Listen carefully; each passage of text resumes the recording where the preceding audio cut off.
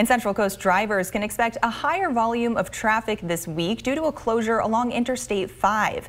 Caltrans District 7 is closing all lanes along southbound I-5 from Vista del Lago to Templin Highway. The closure will be overnight beginning tomorrow and lasting through Thursday.